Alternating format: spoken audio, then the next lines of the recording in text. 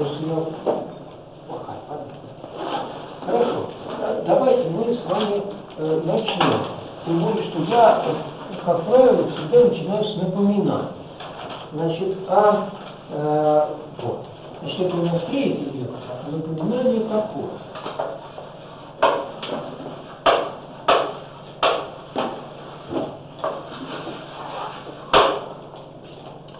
А, мы стали рассматривать линейные системы а, уравнений произвольного порядка. Мы пока их никак не классифицируем, просто вот есть система уравнений.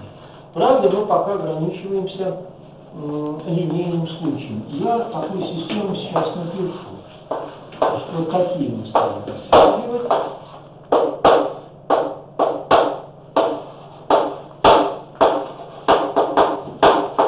Значит, R кто такой? R это мультииндекс, э, состоящий из целых чисел, э, из ну, целых положительных. Значит, в принципе, 0 там может здесь быть, а, если отсутствует дифференцирование по какой-то перемене. А остальные, значит, может быть 0 и вот натуральные числа. А здесь b а, а здесь откуда А здесь kx нулевое, ну, r1, r нулевой раз, dx n, r n. А вот сюда все младше. Вот такая система уравнений. Здесь и от единицы до n. Значит, это m уравнений относительно m неизвестных функций. G тем самым тоже принимает значение от единицы до m. Но э, порядок уравнения, ну вот уж какой получится. Э, я, ну, э, уже, наверное, это, то есть не наверное, наверняка говорил, но в очень мной любимой книжке Соловьева «Повесть о Хаджи на Средине», там есть такие строки «Истина не тускнеет от повторений». Поэтому если я повторяюсь, то я считаю, что это не страшно, апеллирую вот к, вот к этой самой книжке. Значит, а повторяю я вот что – в отличие, может быть, от большинства курсов, и сейчас их ведь вообще и было, и есть очень много. В основном там сосредоточено уравне, э, внимание на уравнении второго порядка, и это естественно, законы природы э, в значительной мере описываются уравнениями второго порядка, но ими не исчерпывается все. И мы и в прошлый раз, и на лекции, и на семинарах выводили уравнения высших порядков, как по x, так и по t. Поэтому нет смысла ограничиваться только вторым порядком. Соответственно, и классификация наша, она не привязана только к уравнениям второго порядка будет. Так что вот здесь порядки, видите, ну, порядок этой системы какой? Надо все мюжитые сложить. Если сложить все мюжитые, это будет порядок системы. То есть сумма всех поряд... высших порядков так, а здесь что стоит? Здесь стоят старшие производные, младшие производные, заброшенные направо. А мы занимаемся вот, э, изучением вот такого рода систем. Пока что А и житы в принципе мог, могли бы зависеть даже от x и t. Ну а в перспективе в следующем семестре еще и от производных от неизвестных функций, но там не линейные уравнения. Это так, реклама, да? Вот. А все-таки надо начинать с чего-то более простого. И пока что в примерах в основном у нас будет случай постоянных коэффициентов. Впрочем, это не так уж мало. Например, волновое уравнение, оно с постоянными коэффициентами, уравнение Лапласа тоже, и классическое уравнение теплопроводности, и тоже там не так-то все просто. Итак, вот рассматривается такая система. А для этой системы уравнений мы сделали следующее. Была сделана замена переменных. Значит, вот эта система, я, если зайду сегодня достаточно далеко, сколько это напоминание а, к предыдущему параграфу. А предыдущий параграф у нас был а, такой, сейчас, чтобы как-то ссылки быть. А, параграф был третий, характеристические поверхности. Значит, это был, был параметр третий, характеристические поверх. А мы сделали следующее. Была сделана замена переменных. Какая? Ну, какая-то. Вот скажем, некоторые тау, это есть хи от x0 xn, некоторые тета, ну, векторная. Когда мне нужно подчеркнуть тот факт, что это векторная величина, я черточку ставлю. При этом размерность векторов может быть каждый раз а, какая-то своя. Вот. Здесь от x0 xn. А, чем, собственно, почему так? Чем-то выделена переменная тау. На самом деле интерпретация здесь такая. Мы собираемся ставить для этой системы начальные условия на некоторые поверхности. И поверхности она устроена следующим образом. Вот здесь у нас имеется θ1, θn параметры. И рассматривается вот такое отображение. Значит, все x зависит от тау и от θ. Но зависимость от тау такая. Значит, при тау равном нулю мы находимся на поверхности. Вот это сделано так, что, ну, такую мы сделали заметно, что при тау равном нулю это и есть уравнение поверхности. То есть 0 равняется хи от всех x. А вдоль тау, значит, это некоторое трансверсальное семейство линий, вдоль тау задаются начальные условия. То есть сами функции задаются на поверхности, а если нужны их производные, то они задаются вдоль некоторого семейства линий. Вот такая вот постановка задач. Это, если угодно, интерпретация. Тут вот такая вот замена переменных. Если такую замену переменных сделать, мы в прошлый раз поясняли, то можно выделить старшие э, производные по переменной тау старшие производные по переменной тау оказывается следующие. Значит, вот здесь э, сумма по g, сумма по... Значит, модуль здесь означает сумму всех индексов. А, а здесь А, RT. Ну, а вот здесь возникло вот что. Просто путем обычного дифференцирования, и нулю детау под x 0, степени 0, детау, да, я э, понимаю, поэтому мы пока только напоминать. Вот, детау for d xn степени rn. Ну а вот здесь производные d вытер, вытер, по выделенной переменности. Это умножить. А справа вот это и все оставшиеся производные. Это такая всеобщая э, помойка такая для наших производных, но это не значит, что они никогда роли не играют. Иногда они очень даже существенны. Но сейчас они вот туда. И чтобы разрешить относительно старших производных, а зачем надо разрешить? А для того, чтобы свести задачу теоремы Каши-Ковалевской которая упоминалась, но э, не доказывалась и даже совсем уже четко не формулировалась.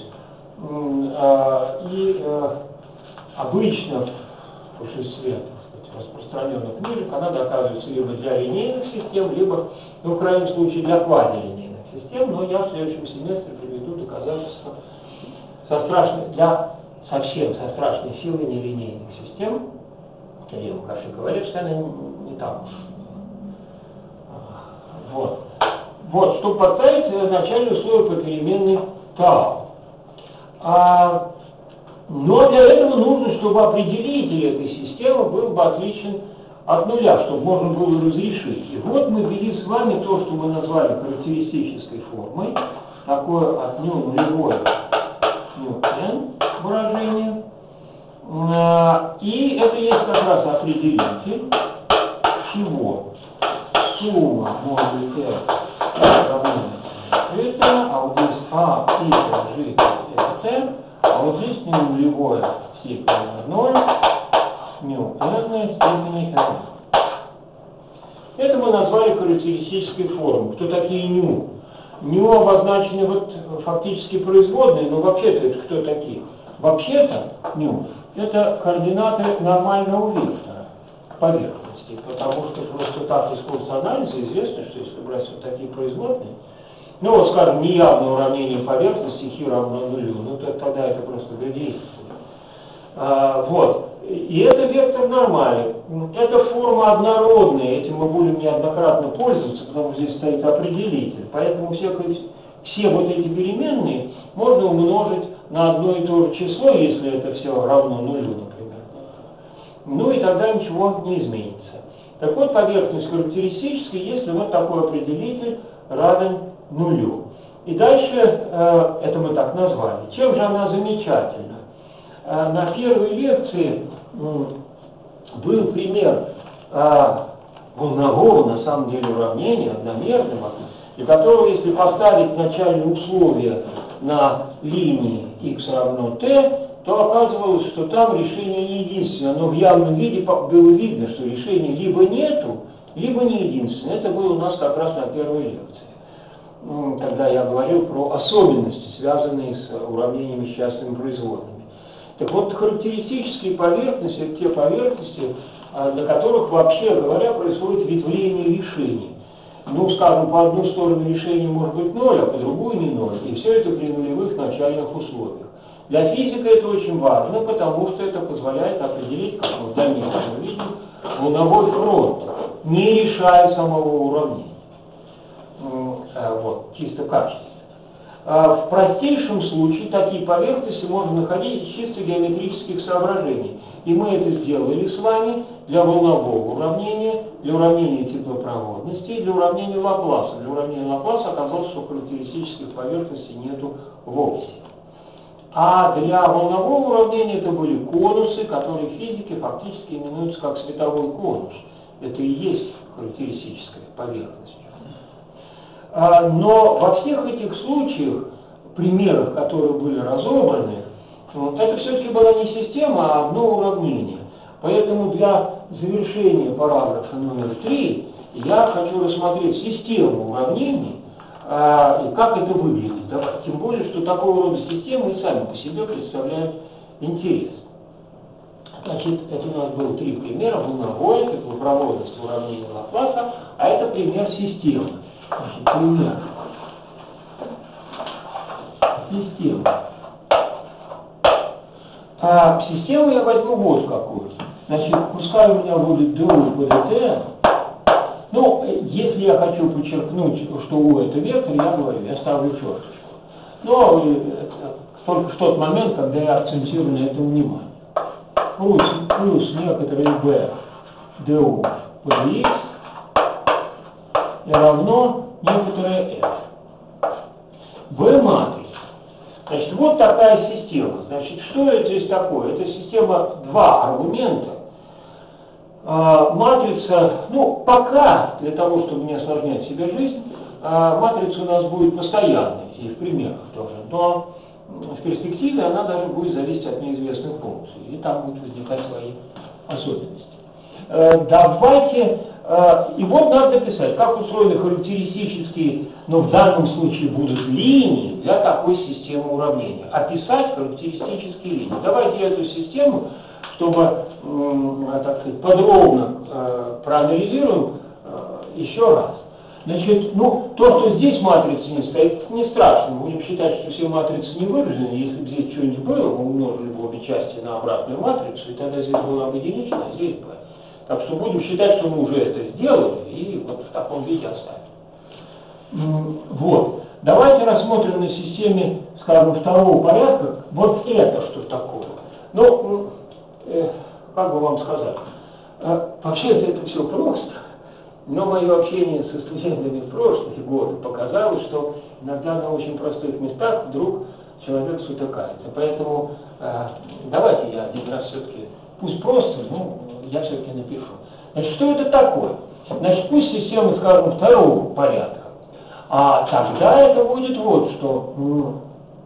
Тогда так. Значит, у меня один а, U1 по x производная плюс а, по, по t плюс 0 U2 по t.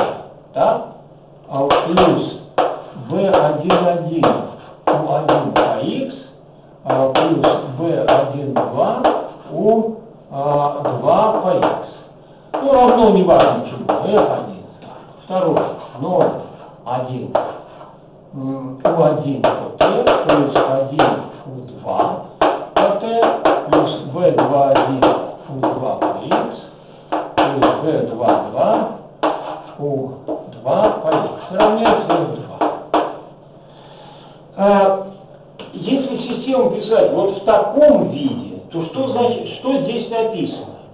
Вот здесь собраны высшие производные от одной и той же функции, вот в этой внутренней сумме. Значит, если иметь в виду структуру вот эту, то я должен был бы написать так. U1 по T плюс V11 U1 по X.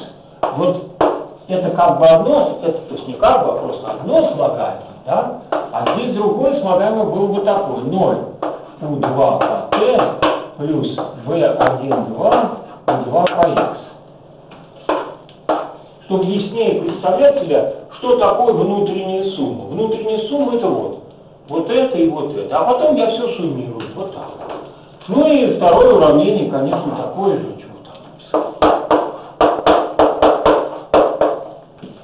А теперь, если я хочу писать э, характеристическое уравнение, что я должен написать?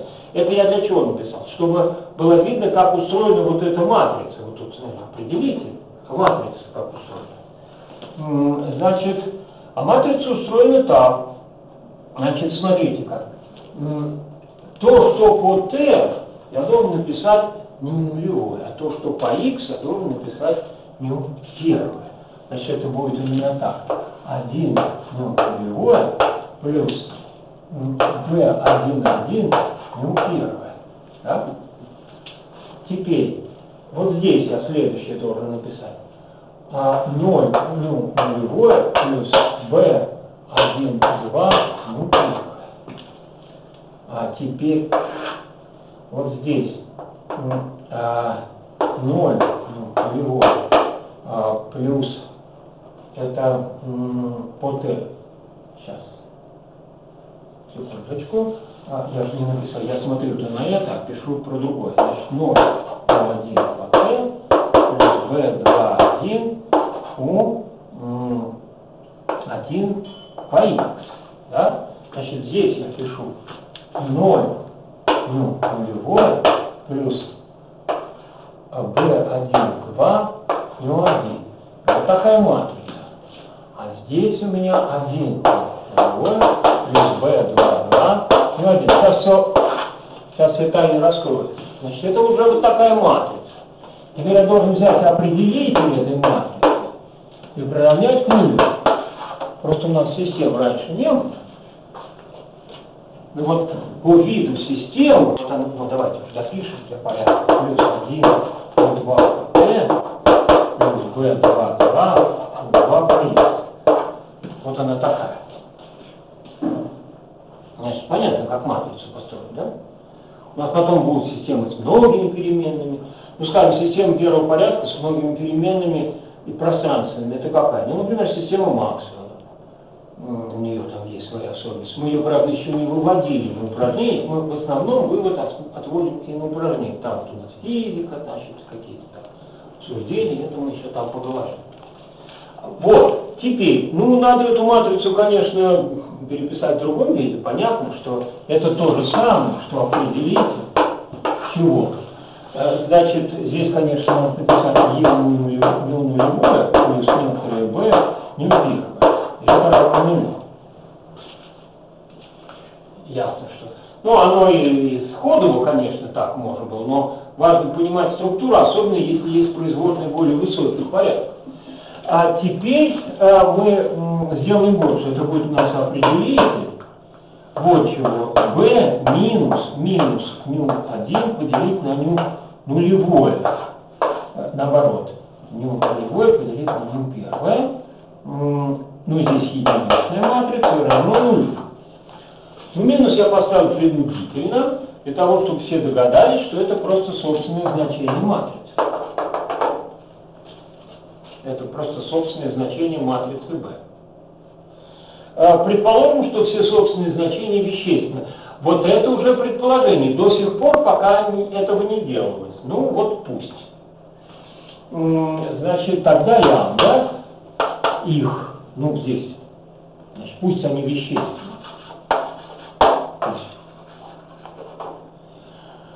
И тогда есть минус ню нулевое поделить на ню первое. Это что такое?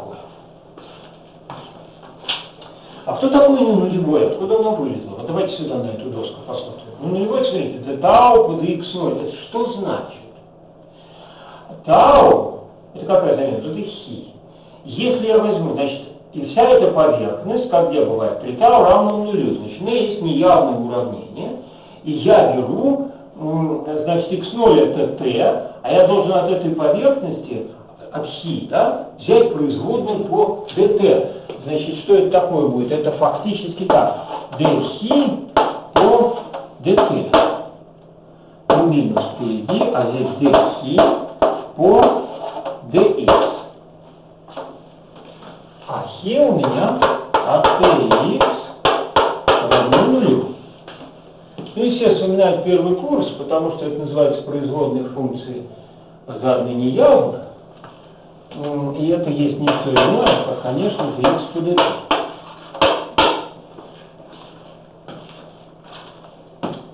Это просто производные неявно заданные функции. Вот э, ну, формула у нее такая. Вот. Значит, э, теперь я могу сказать, между прочим, до сих пор нигде не было сказано, что B нигде не фигурировал, я так говорю, что нам так проще будет, и в примере так и будет, что B постоянная матрица. Вообще-то, если быть честным, B успешно может зависеть от xt, более того, эти все рассуждения, чисто алгебраические рассуждения, тут ничего нет. B, в принципе, могла бы зависеть даже от U, ну, правда, это означало бы, что у нас получается уравнение. Вот это и есть уравнение для характеристик.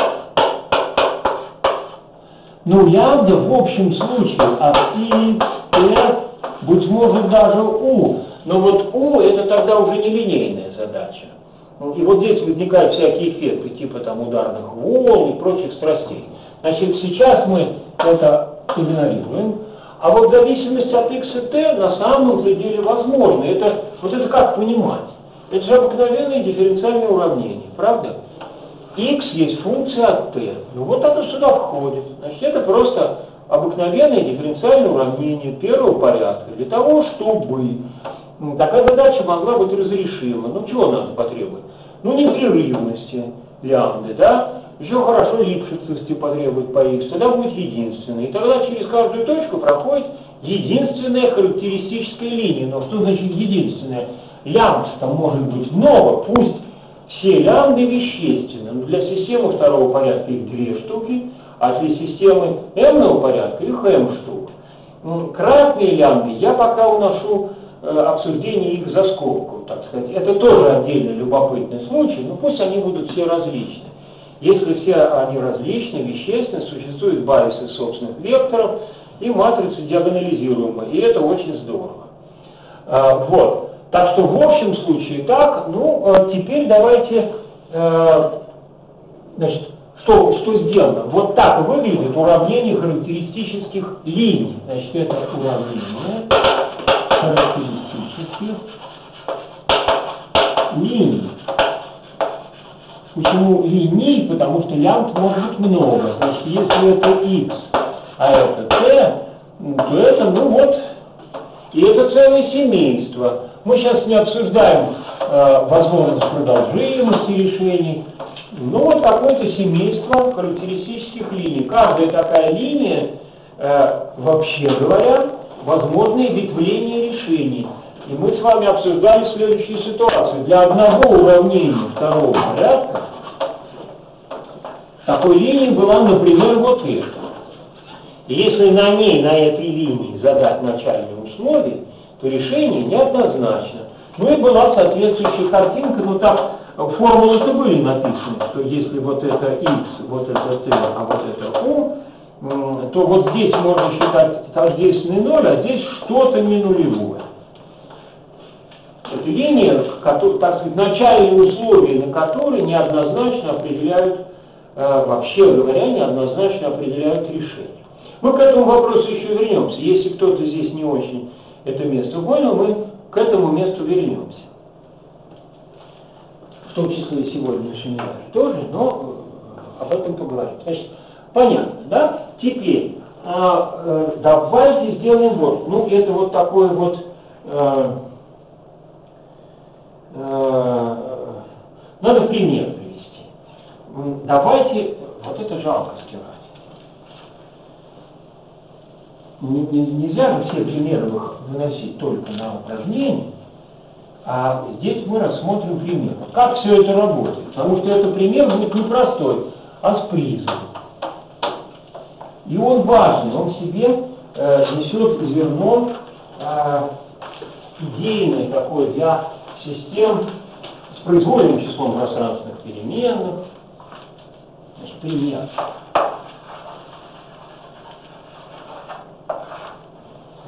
А пример такой. Э, давайте я напишу систему. Вот такую dt.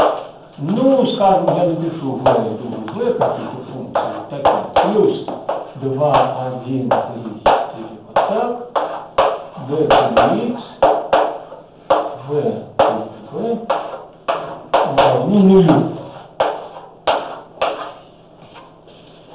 Э, давайте, а приз будет состоять в том, что мы выпишем общее решение этой системы, и метод, которым мы его выпишем, будет носить общий характер. Я на этом примере его проиллюстрирую. То есть вообще найдем все решения. А, значит, ну, здесь такой счастливый случай, что матрица постоянно, но если бы она зависела от xt, то, в общем, тоже можно поворотиться, хотя это похитрее. Вот если от U, от V, тогда хуже. Вот. А, значит, что делаем? Но, во-первых, найдем характеристические, ну, в данном случае, линии по тому, что было сказано, мы уже знаем, что надо сделать. Они описываются как? dx по dt равняется лямбда, где лямбда собственное значение матрицы. Собственное значение матрицы можно найти, э, не делая никаких преобразований, значит, двоечка. Ну как-то опасно лямбда стало напоминать. Значит, это что такое? Минус лямбда квадрат, минус слег, минус 6 лямбда, плюс определитель, плюс 5 равно нулю лямбда первая у нас единица, лямбда вторая у нас пятерка. Ну и стало быть, уравнение характеристических линий э, такое, ну как, э, dx по dt равно единице, dx по dt равно 5. Откуда x минус t равно c1 одно семейство, x минус 5t равно С2 другое семейство. Ну и стало быть, вот одно семейство вот такое, а другое, значит, угловой коэффициент 5. Ну это такая простейшая ловушка, эти линии расположены вот круче или положено. Ну, вроде 5 угловой коэффициент, да? Ну, это я сказал, простейшая ловушка. Дело в том, что все привыкли, что ось ординат расположена вертикально, а ось абсцисс горизонтально. Поэтому оно, конечно, круче, но только если вот так свернуть шею. Относительно x оно круче, относительно того, как нарисовано, оно положено. Так что место вот такое. Если шею вот так повернуть, то оно круче, действительно. Ну, такова традиция в изображении, ось Т рисует вертикально, а ось Х горизонтально. Эти традиции мы нарушать не будем, уж раз так нарисовано, так нарисовано. Хорошо?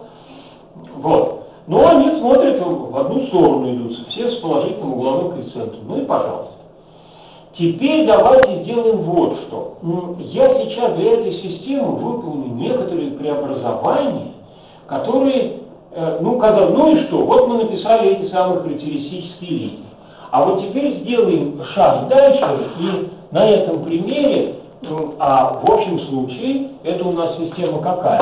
Это есть ДУ dt, констант v, ДУ x, ну и в общем случае f.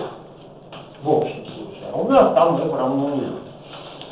Давайте у матрицы V найдем, это может быть немножко непривычно, из курса АМБ, левый собственный вектор.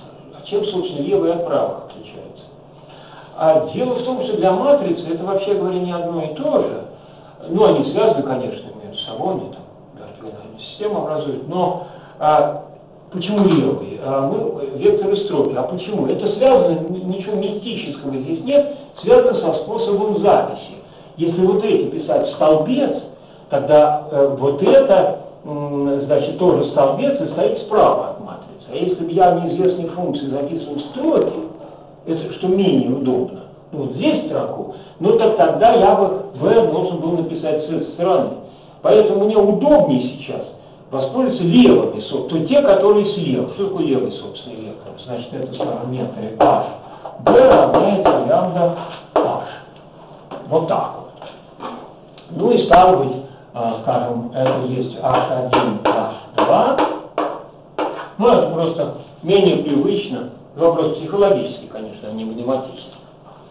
Вот. Ну, значит, если я по единичке отниму, здесь будет 1, 1, 3, 3, и это, ну и так формально, то это будет у меня что же такое? Это будет 1 и минус 3. Это есть h1, единичку я поставил сверху. Я не использую сейчас, ну, строго не следую, скажем, обозначением, когда координаты векторов, там, э, координаты э, векторов и ковекторов, значит, чтобы не было придирок с, с этой стороны. Значит, просто, ну, так, чтобы нижние индексы просто координаты, а верхние индексы просто век, э, векторы. Но, э, понятно, я просто, просто так. Теперь следующий. Я а, вот это самое для пятерки, то это что ж такое будет? Это будет минус 3, 3, значит 1, 1, и это второй собственный вектор. Ну, я так полагаю, что собственные векторы все, конечно, умеют находить, особо не задумываясь. А, вот, но, правда, то, что вот они слева. И в общем случае, если здесь имеется m различных вещей, вот оно, это место, но мы их давайте сегодня запомним, m различных собственных а, вещественных значений, я сказал, с кратными чуть-чуть осторожнее. Если они все различны, то матрица диагонализирована. У нее есть байсы собственных векторов. Ну и вот э, сделаем сейчас такое преобразование. А именно, а преобразование такое. Значит, введем новые неизвестные функции, устроенные следующим образом. Вот здесь стоит а, матрица 1 минус 3, 1, 1, а здесь v, v. Ну а в общем случае это есть Z, есть некоторая матрица преобразования, ну допустим пусть она H, а здесь матрица U. Тем самым U это есть H минус первый, Z. Здесь-то U это уже вертикальный, так сказать, вектор столбец, поэтому написано справа. Ну, минус первый можно написать, это же базис из собственных векторов. Ну и стал быть матрица не выражена. А, и теперь вот сделаем, и это преобразование можно сделать в общем виде. Опять ограничимся сейчас случаем, когда матрица постоянна. Что если она зависит от xt, я сделаю пояснение. А, просто ушку подставим сюда в общем виде. Ну, если постоянная матрица, так у меня получится что h минус 1 z под плюс v h минус 1 dz по dx равняется f. Ну, конечно, надо обе части умножить на h, и тогда здесь будет единичная матрица. А что будет здесь? Здесь немножко непривычная запись. Преобразование матрицы при переходе к другому байсу обычно минус первый здесь стоит. Но тогда здесь будет как выглядит оператор в базе собственных векторов. Он, там матрица диагональная. Ну а почему минус один стоит не там, где надо? Потому что мы брали левый собственный вектор, только по этой причине, больше ничего. Обычная формула какая? Значит, матрица перехода, да, p минус первый, а ну из курса алгебры, так сказать, помнится. А здесь минус первая степень, с другой, я сказал, с чем это связано, больше ни, ни с чем. Значит, эта матрица диагональна. А, значит, здесь стоит диагональная матрица, где стоят вот эти самые лямбды.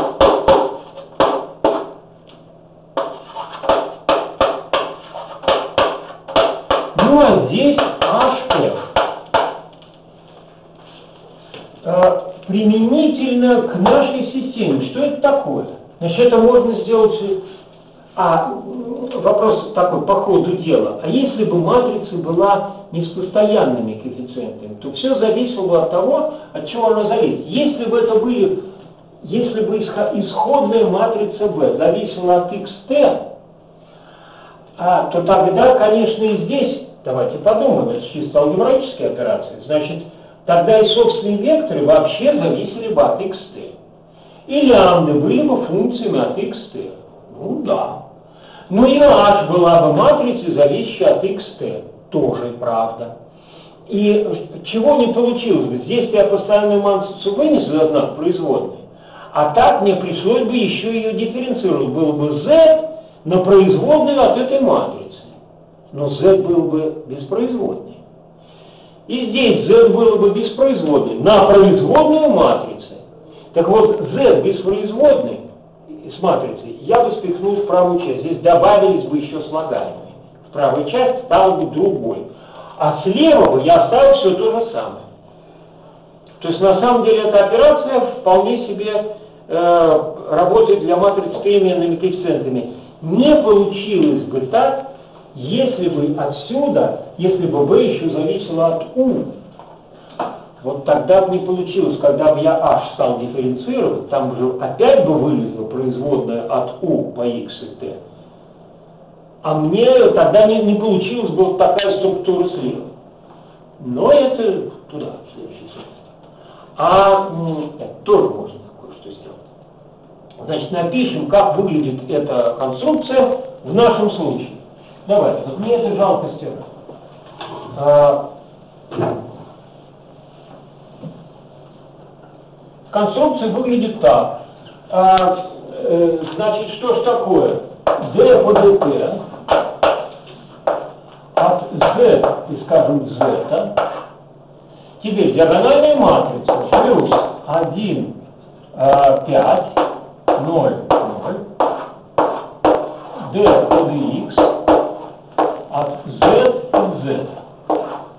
И в нашем случае, ура, справа-то 0 стоит. Давайте посмотрим, система распалась. Вот это замечательный факт. Левая часть системы состоит из распавшихся уравнений. Они, конечно, переплетены, но как? Только через правые части. А левые части развалились, потому что ну, здесь только z, а здесь только z. Значит, получается z по t плюс z по x равно нулю, и z по t плюс 5 z по x равно нулю.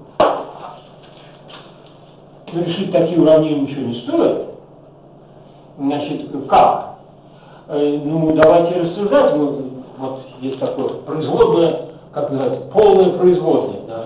В каком-то там курсе всегда объясняют. Вот частное кругленькие, а полное это вот прямое. Вот значит это полное производное. Давайте вот здесь фактически единицы стоят, а это единица, я могу считать, что это есть dx по dt. А вот эта пятерка, это есть dx тоже по dt. Значит, тогда слева стоит dz по dt прямое, но только вдоль чего? x минус t равно c1. А здесь стоит dz по dt вдоль чего? вдоль x минус 5t равно c2. А? Где то минус потерял? Да, да, да, да, да, минус. А, сейчас. А, какая разница? Собственный вектор Сочи же давно определен. То есть вы хотите сказать, что минус 1 и 3? Нет, наоборот, минус 3 и 1. А, не в ту сторону стоит. Да, да, да, да. Все. Это я, э, ну, конечно, здесь надо тройку поставить, здесь не, вы правы, совершенно верно. И тогда здесь надо поправить рассуждение-то в общем виде, то есть я стал писать, то тогда бы я на это напоролся. Спасибо за поправку. Конечно, конечно, минус 3 Спасибо. Вот. А, ну и тогда можно описать все такие функции. Значит, вдоль таких линий это константа. Значит, z это есть не что иное, как некоторые, скажем, q а, от x минус t. От z это есть некоторое g от x минус 5. Где q и g, ну, слово произвольные не надо, конечно, к этому очень резко цепляться, ну, скажем, гладкие функции. Гладкие, потому что все-таки мы их дифференцируем, а, ну и поэтому будем считать, что у нас функции гладкие.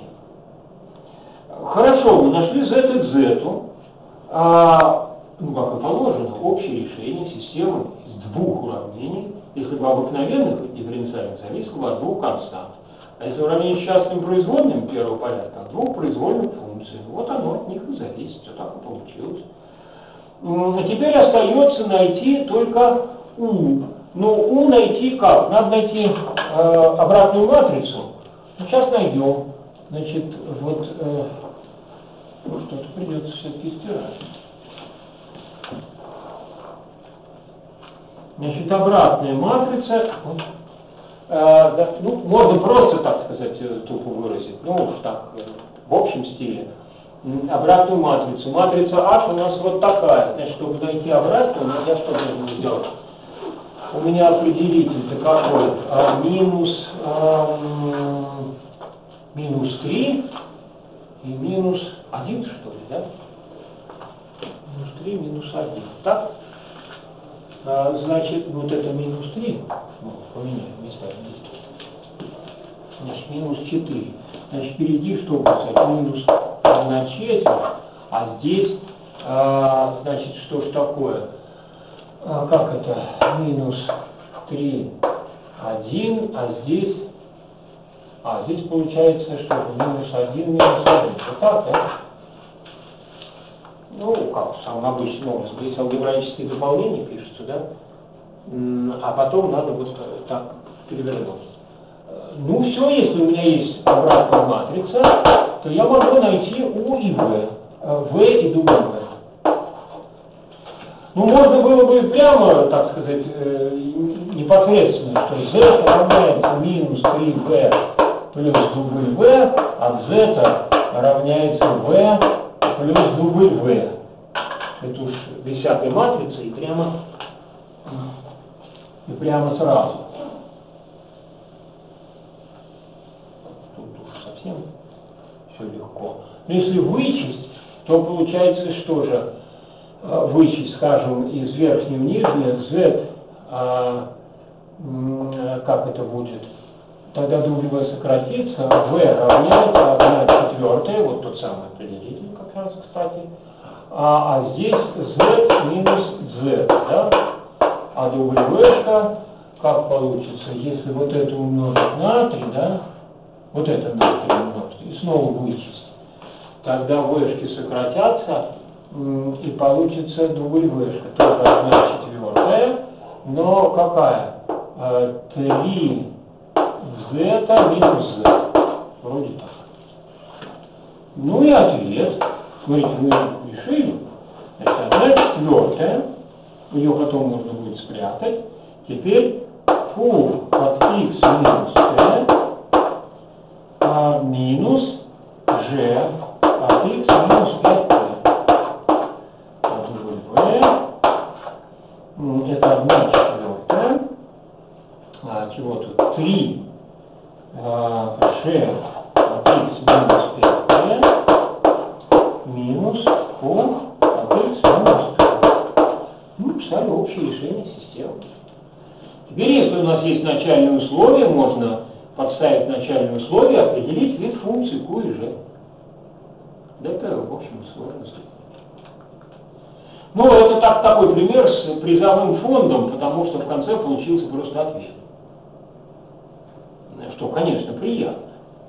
Ну, а упражнение здесь такое. Мы на лекциях, я так мимоходом вывел общую, ну, так сказал, что вот сделаем замену перемены, как это традиционно делается, и написал общее решение волнового уравнения. В упражнениях мы сделали другой подход, который применим к уравнениям более высокого порядка, да. Ну а здесь можно сделать по этой же схеме еще раз вывести а, общее решение волнового уравнения. Каким образом? Надо у по обозначить через v, это скорость, у по x обозначить w, это относительная деформация. Тогда у меня получится у t минус а квадрат v по x равно нулю. Ну и я буду считать, что я работаю в классе дважды гладких решений, поэтому смешанные производные у меня равны. И второе равенство – это равенство смешанных производных. Вот если вот это продифференцировать по x, а вот это по t, то как раз и получится равенство смешанных производных. Но тогда описанным способом, на что я, так сказать, что я вам очень рекомендую, просто получить общее решение волнового уравнения. Ну, правда, вы, на, вы а, только здесь не ушко, а вышка. Сейчас а это В, а это вот я специально, потому что буква У здесь уже занята. Здесь тоже не У, а В. Видите, это стереотип мышления. Вот. Ну, это вот что такое? D от Т, от В до ВВ, плюс матрица 0 минус А квадрат а минус 1 0, D от X, а, от до V равно нулю. Собственные значения мгновенно видны, это какие плюс-минус А, ну и характеристики, это равно dx по dt. Ну и хорошо знакомые линии, значит, одно вот такое семейство, другое вот такое. Ну и на этом пути получится общее решение волнового уравнения, которое будет из себя представлять сумму бегущих волн.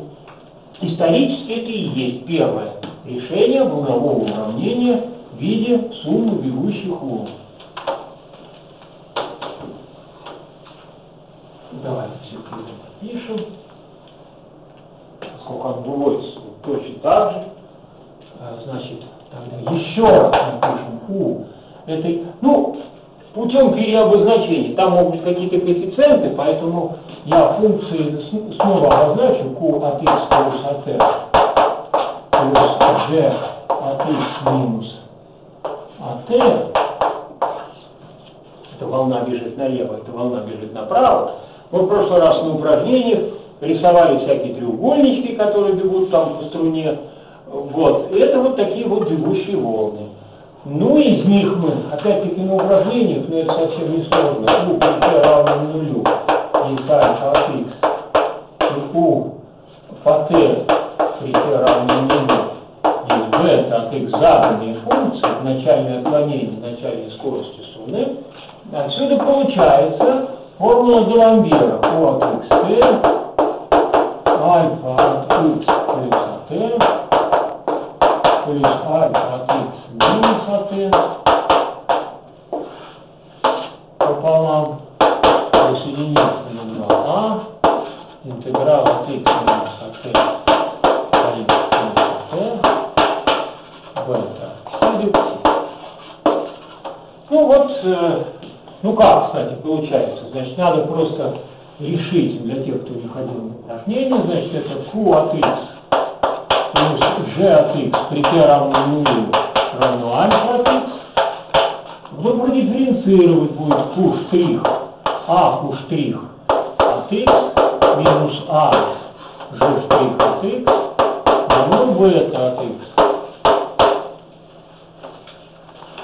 Ну, а потом это равенство надо написать эту интегралы, сложить, вычесть, и получится как раз вот это самое.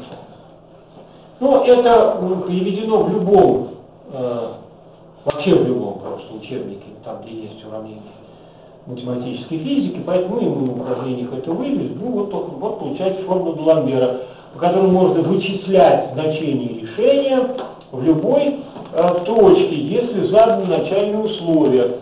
Э, а именно оказалось следующее, если это x, а это t, то чтобы вычислить решение вот в этой точке, надо провести линии, характеристические через эту точку, до пересечения с линией задания начальных условий. И первое слагаемое – это полусумма начальных условий при t равном нулю, а второе – это интеграл по, от функции бета по донышку вот этого, э, этого треугольника. Ну вот, а, поскольку значит, это такая вещь. Но тем не менее, значит, какие здесь особенности, какие здесь задачки, как построить мультфильм по распространению. Вот мы еще даже обсуждали, как отразить, что будет, если конец ствольный свободен или закреплен, как это сводится в сущности к этой же самой формуле Деламбера. Ну вот так. Значит, это вот система второго порядка, и мы про них вот э, немножко поговорим. Значит, отсюда можно и нужно, э, ну, есть такой тезис, всякая хорошая вещь заслуживает обобщения. Ну вот, давайте попробуем, куда здесь можно обобщить. Значит, это то, что я сейчас сказал, это такой в сущности ход, который был исполнен Даламбером и Эйлером. Ну, Даламбер вообще, правда, Даламбер чуть даже хитрее, там у него была струна с закрепленными границами, бегущие волны. Это 1747 год, э, по-моему, 11 что ли, том трудов Берлинской академии наук, если я не ошибаюсь, это 1747 год, на старом французском языке записан. Там, конечно, не такие были обозначения, э, как э, мы используем, в частности, обозначения для функций не такие, многие вещи писались совсем по-другому. И э, я не, не хвалюсь тем, что я знал сам французский язык, мне переводили, я эту статью видел, у меня даже есть ксерокс, но, конечно, в общем такой язык сильно изменившийся с середины XVIII века. А, вот так. Значит, э, э, ну, раз мы рассмотрели случай систем второго порядка, ну, как строятся характеристически в данном случае линии для них, и что это может дать. Оказывается, что при, так сказать, подходящих условиях мы можем даже получить решение таких систем на этом пути, что вообще просто до конца, что очень здорово. А, ну хорошо. Кстати, э, прежде чем мы перейдем ко всякого рода обобщениям, а что было бы, если бы вот этот коэффициент зависел, скажем, от x и t? Но это означало бы, что в общем случае вот эта матрица зависит от x и t. Ну и что? А тогда характеристики были бы решением соответствующих обыкновенных дифференциальных уравнений. И они уже были бы не прямыми, а это было бы какие-то семейства, скажем, вот так, И вот так. Ну, например, единственное, что характеристики одного и того же семейства друг с другом пересекаться не должны. А, ну, э, а почему, кстати? Э, что будет плохо? Плохо будет вот что.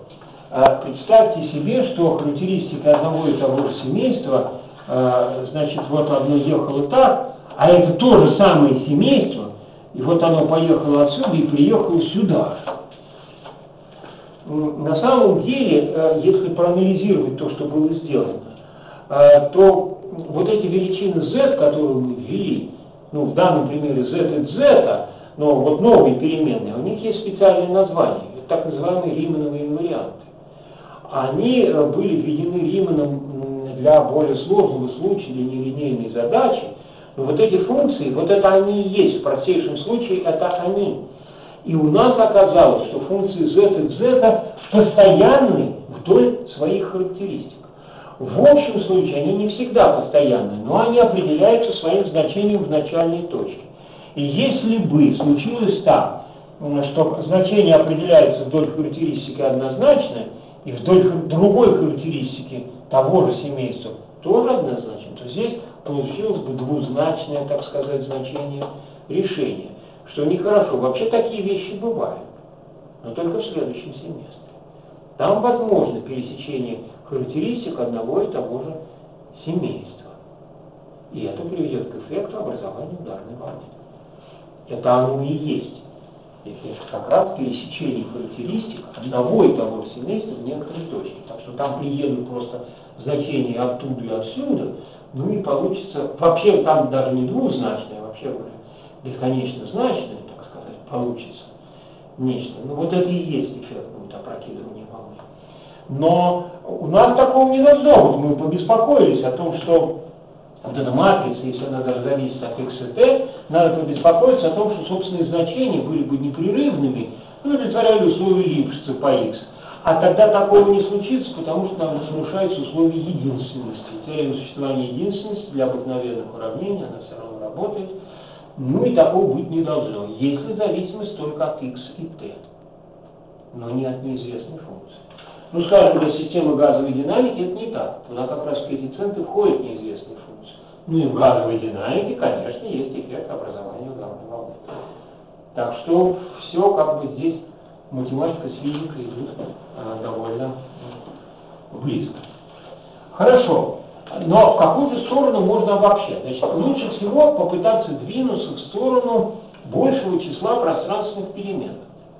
Значит, э, нельзя ли рассмотреть э, какие-то системы уравнений, ну, для начала системы, а, с большим числом пространственных перемен.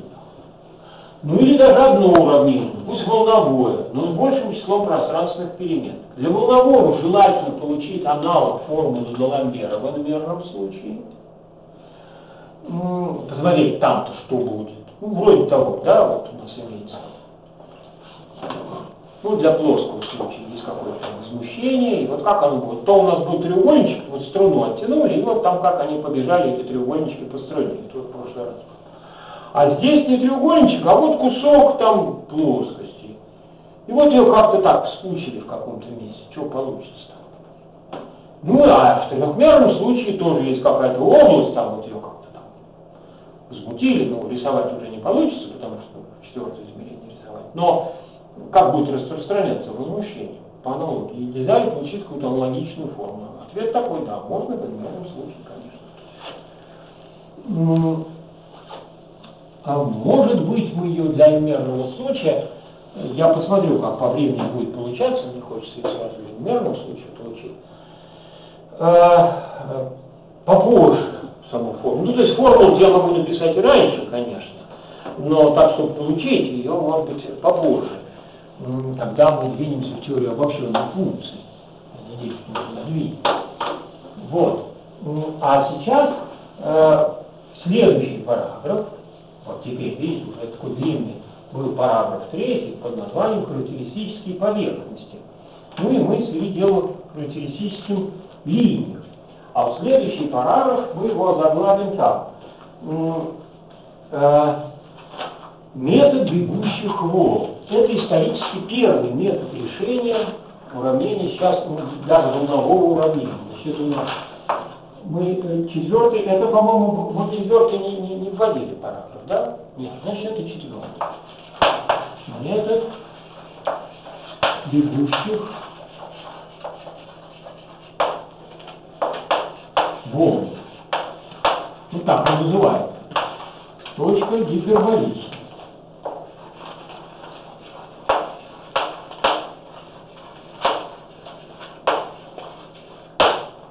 Бегущие волны это те самые волны, которые бегут по струне. Одна от x минус от t, другая от x плюс от t, вот они бегут в разные стороны. Вопрос, нельзя ли что-нибудь этакое обобщить на, а, ну, на такой вот случай. Ну, уж совсем на такой случай можно обобщить понятие гиперболичности, но постепенно к нему подойдем. А, а, вот, а вот тоже можно. И смысл будет физически такой же. Прямо вот для таких вот систем со страшной силой. А мы э, упростим сейчас систему звездочка, вот я ее специально не стер, э, пусть рассмотрим более частный случай. Рассмотрим систему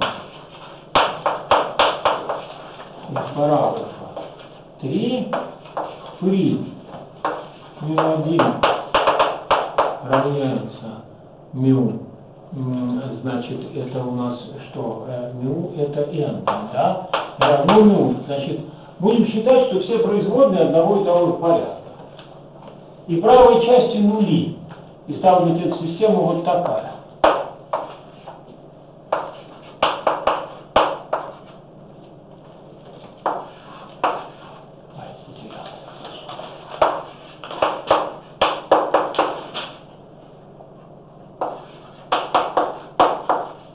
И пусть коэффициенты постоянные.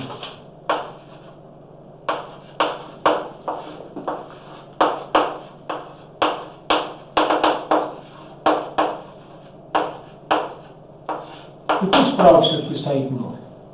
И пусть это 1 и объединится до n.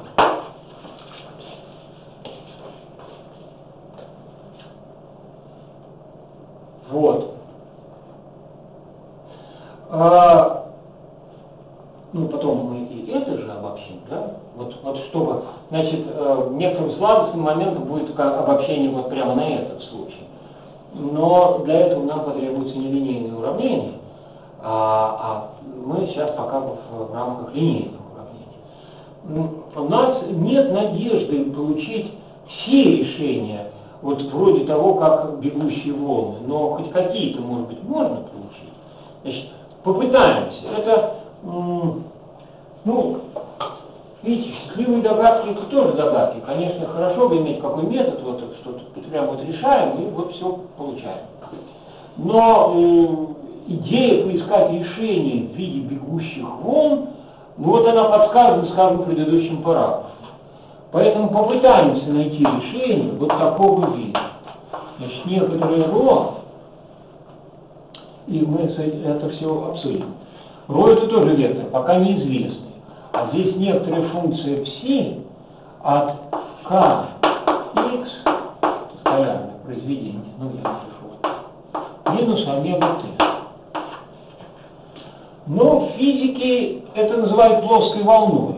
Это вот что такое. Это значит, ну как, k1x1 плюс kn xn минус омега t. И вот такая функция. Это два плоские волны.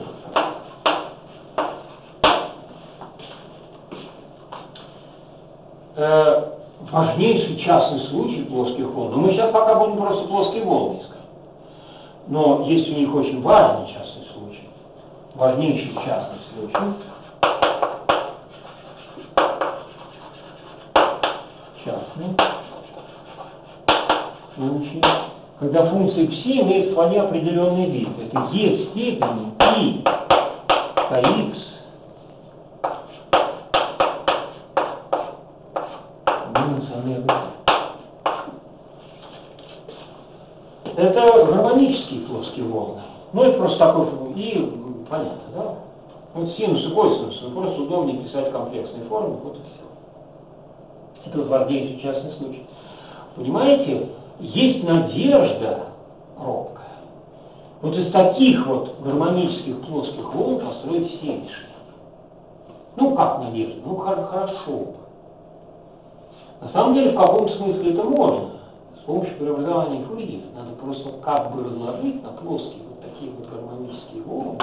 Но, то есть это, в общем, такой, ну, а математики, они такой народ своеобразный, что всякая хорошая вещь заслуживает обобщения. Правда? Вот в частности, можно, например, вот в физике вот этот К, К называется волновым вектором. Вот омега называется частотой, а К волновым вектором. И вот мы рассматриваем. Сейчас я сделаю картинку, поясняющую, почему это плоские волны и, и как это выглядит э, реально, как это патрон. Ну а в математике, э, естественно, вопрос такой, что если К считать комплексным полновым вектором, ну, тогда вот эти кашки будут комплексными числами. S1, S, вот, может, такие решения тоже какой-то смысл имеют и для чего это нужно? Да, конечно. И я надеюсь, что мы этого коснемся. Вот такие вот дела комплексные. конкретную понятие. А, ну хорошо. Значит, что такое плоская волна? Как это себе представить? Геометрически или физически, или как угодно. Значит, давайте рассмотрим, а, пускай у нас вот эти u при t равно нулю, есть некоторая функция альфа от s. Что такое s? S некоторый параметр. Я буду рассматривать семейство плоскостей вот такого сорта. А, ну это что такое? Ну, плоскостей. Мне не хватает измерений, поэтому x1, xn, вот здесь t мне потребуется, и здесь же еще у меня не хватает места u. Вот и t, и u пускай на вертикальной оси. Теперь я рассмотрю, ну в данном случае это не плоскостей, а прямых, конечно. kx равно s. Ну, x это только 2 на самом деле. Значит, это, например, вот такой вот цилиндр.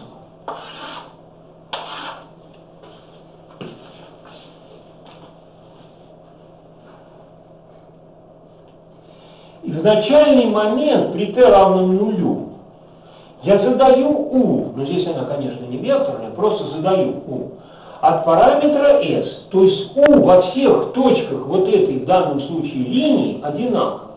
А в общем случае это же не линия, а плоскость. Значит, ум задает, значит, я сейчас ограничиваю себя классом решений только такого вида. Вот, вот надо себя как-то, ограничивать. Чем это Вот, потому что когда неумеренные желания, знаете, как желание переполнить мешок приводит к тому, что он рвется. А этого не будем уж. Чрезмерное, так сказать, вот, множество всех множеств. Это внутренне противоречивое понятие. Да? Ну вот поэтому, а, а, ну это уж так чересчур. А сейчас у меня класс решений вот такой. Значит, во всех точках, в данном случае этой линии, у меня начальная функция будет одинакова. Как это нарисовать на чертеже? Значит, пока что я смотрю вот на эту У. Значит, это я могу нарисовать так. Ну, например, вот так. Но здесь тоже так. Потому что во всех точках вот этой линии здесь ноль. Во всех точках вот этой линии там, вот так, например.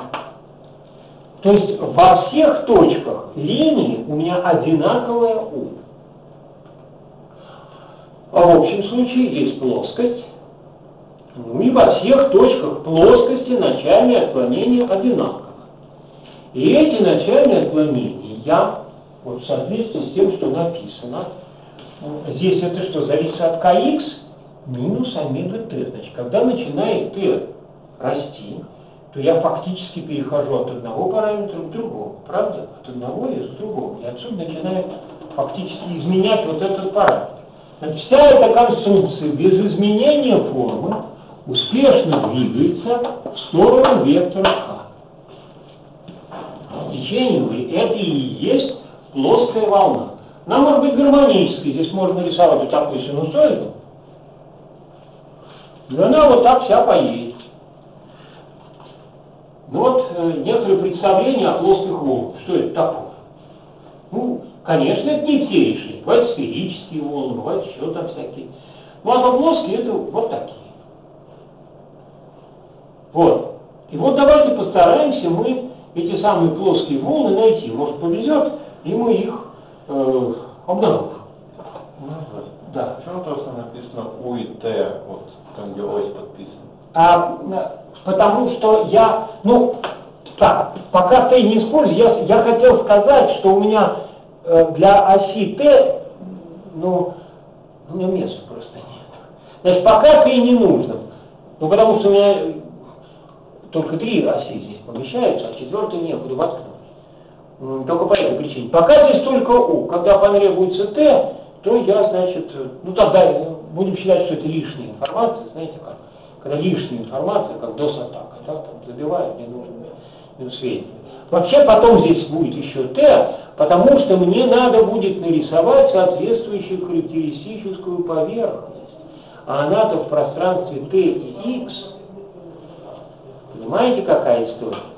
А для Т-оси места нету, поэтому я ее тоже расположу вертикально и нарисую здесь вот такую характеристическую поверхность, которая в данном случае будет плоской.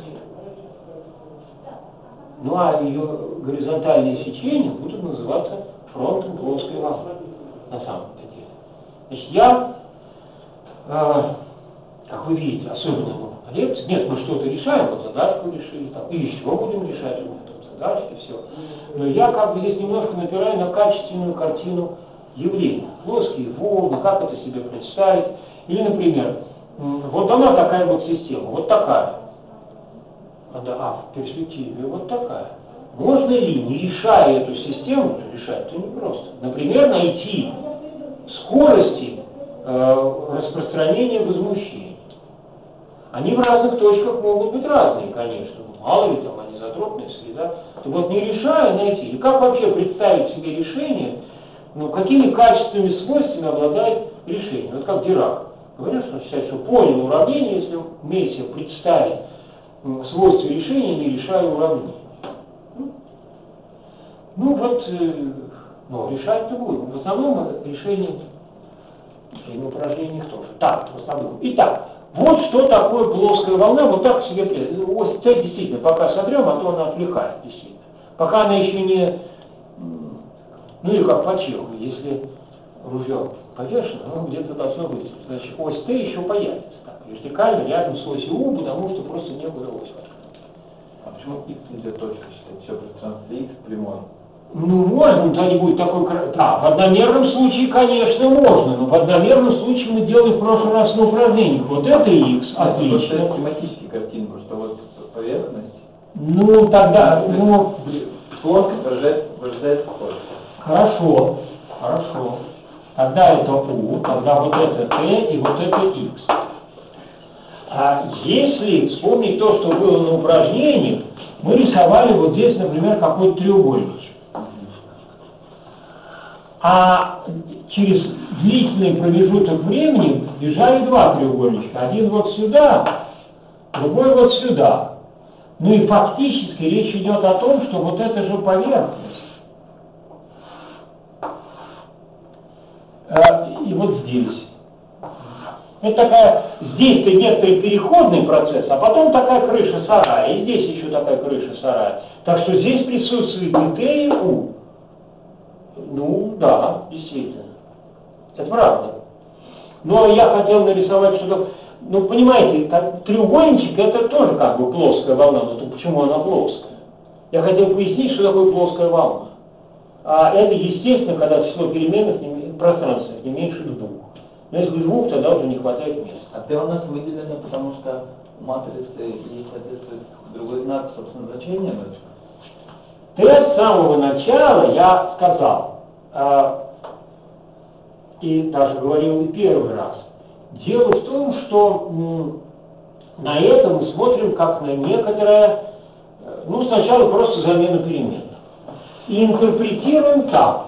Мы начальные данные задаем на некоторой поверхности, и эту поверхность описываем так, допустим, параметрически заданная поверхность, вот так, да?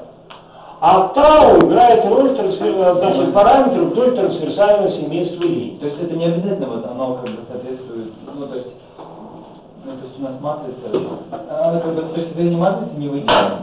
На самом деле, вот когда так, то не выделенная. И здесь вы правы. Э, вы коснулись на самом деле глубокого момента, потому что э, система, опять немножко я забегаю вперед, гиперболична относительно некоторого направления, как выбрать ту переменную относительно уравнения, которое будет гиперболическим. Хорошо, тогда скажите, пожалуйста, что вот это за уравнение? Ну, x1, x1.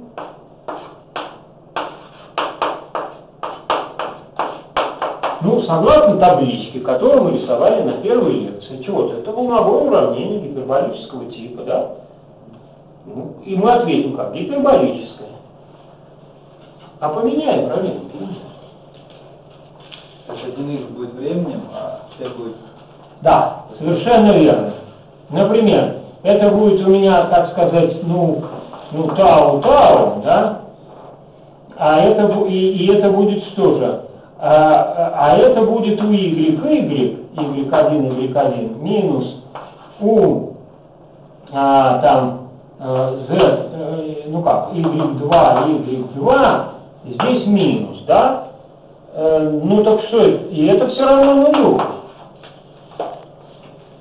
Ну, я просто переобозначил переменные, больше ничего. Это вот что такое будет? Вот здесь-то минус появился, да? Значит, в таком варианте это уже не гиперболическое уравнение, а ультрагиперболическое уравнение. И у него другие свойства решения, там по-другому ставится начальное условие, совсем непросто. И там в программе было сказано, что когда мы коснемся ультрагиперболических уравнений, хотя эти уравнения отличаются только обозначением перемен, больше ничем, правда? Важно понять, какую переменную, ну, грубо говоря, какую переменную будем считать временем. А что это значит? Как мы будем ставить начальные условия? По какой переменной? Это то же самое, я говорил первый раз, у t минус у xx равно нулю, ну да, уравнение теплопроводности.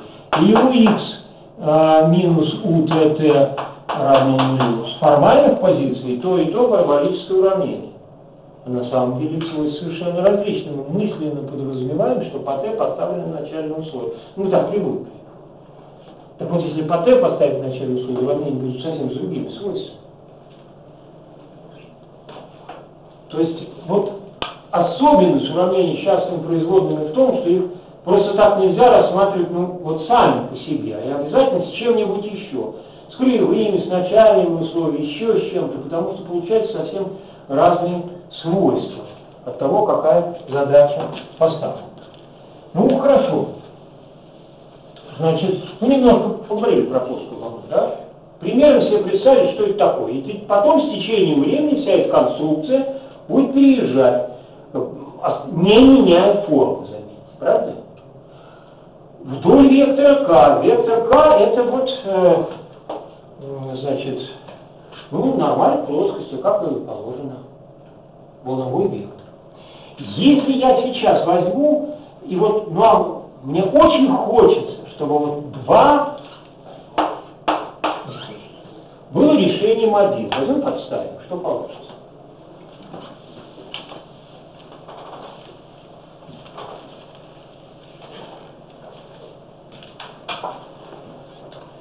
Ну что получится?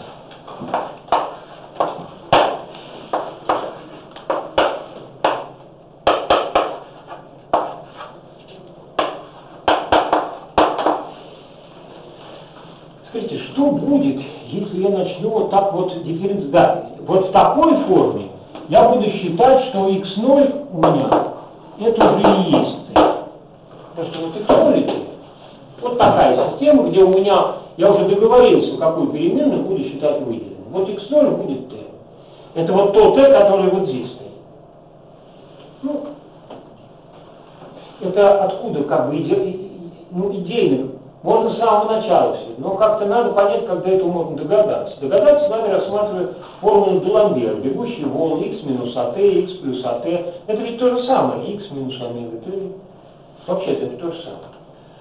Ну вот, ну и тогда смотрите, если я это буду дифференцировать, ну раз, дифференцировать буду по t, r0 раз, так все время будет выходить вот это, да? Значит, будет минус омега в степени r0. А дальше k1 в степени r1. kn в степени rn. Ну, дальше еще будет что? Это же функции уже, это значит t, а все одинаковые. Лютая производная, ну, от того, чего написано. kx омега t. А, ну хотелось бы, чтобы это был ноль, если я хочу такой решить. И все это для и от до n.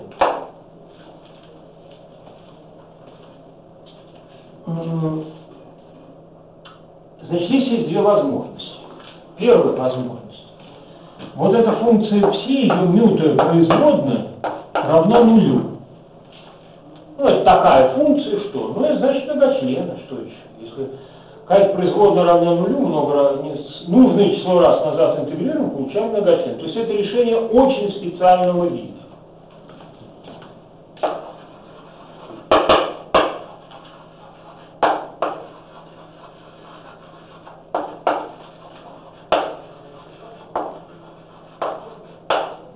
Увидим, что такие решения тоже, конечно, имеют смысл.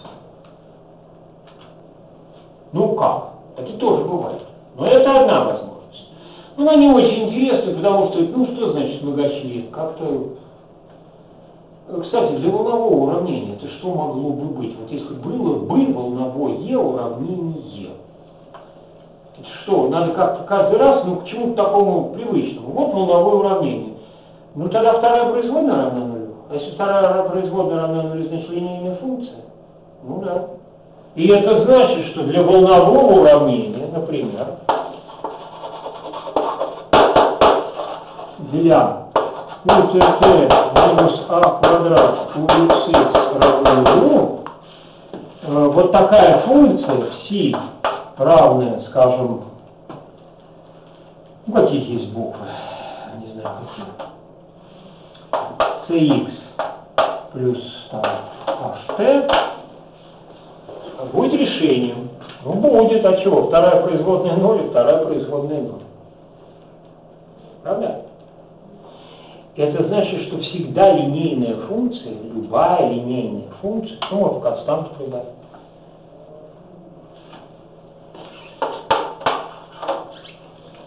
является решением волнового уравнения. А.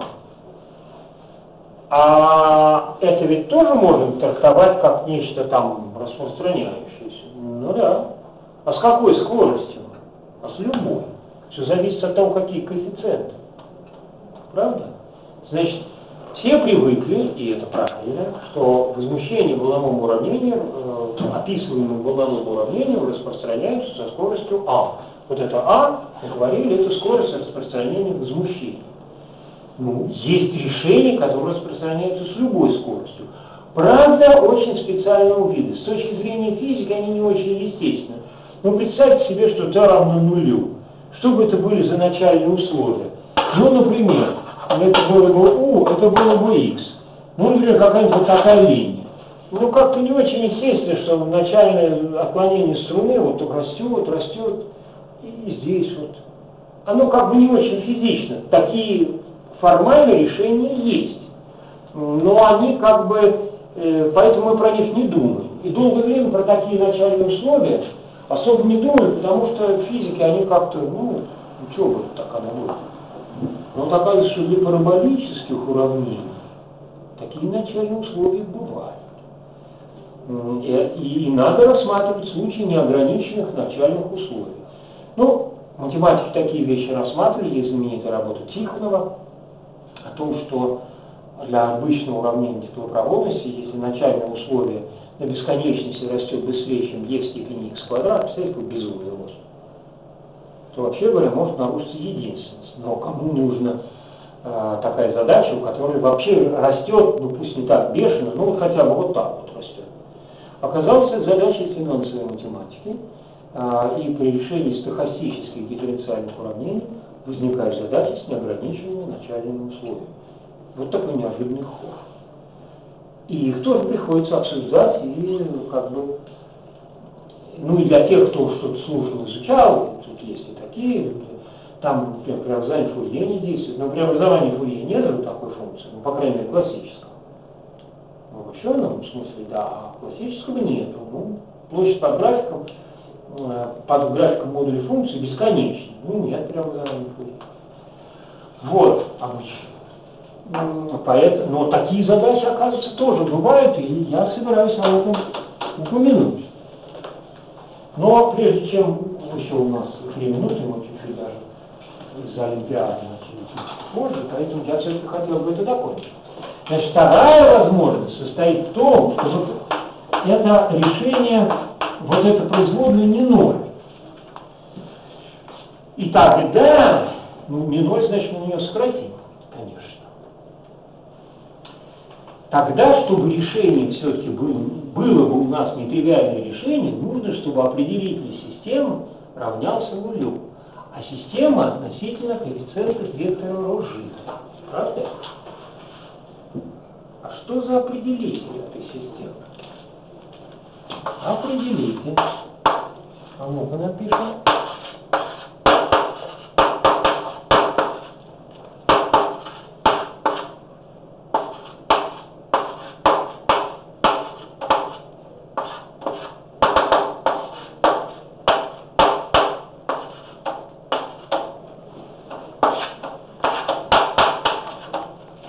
Секундочку, секундочку.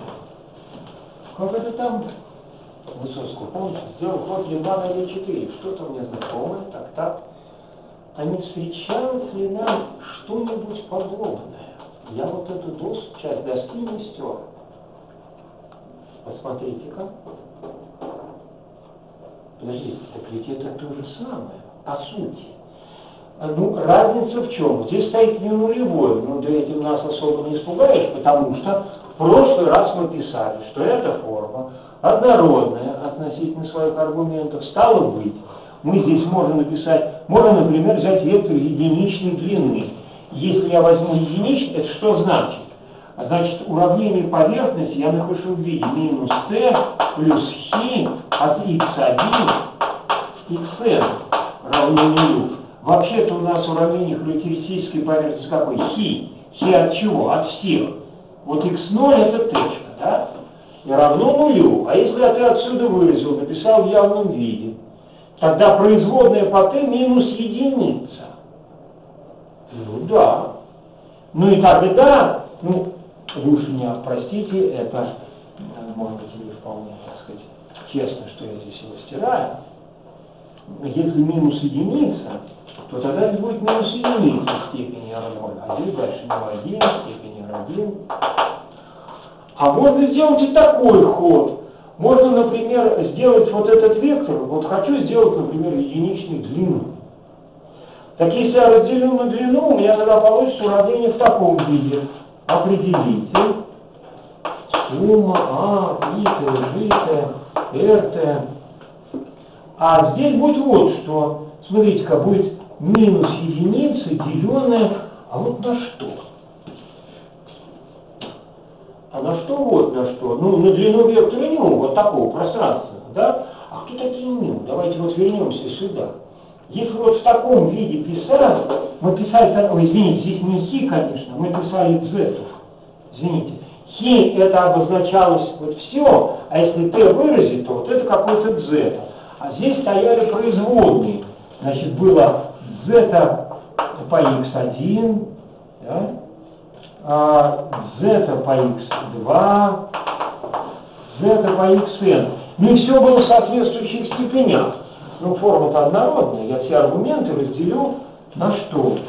На модуль вот этого вектора. Что это за вектор? По x1, по x2, подожди, это же вектор градиент.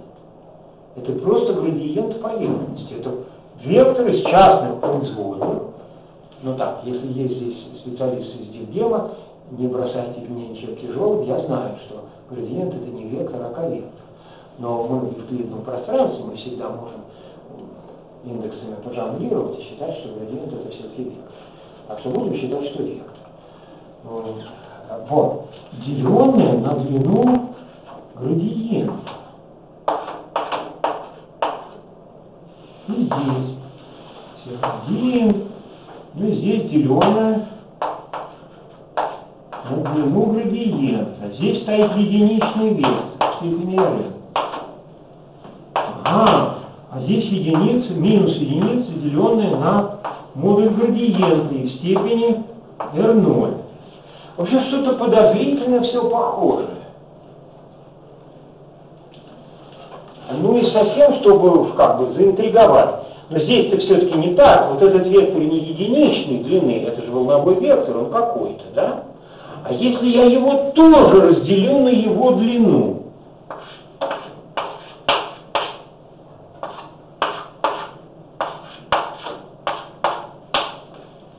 Так, здесь у меня получится минус омега, деленное на k.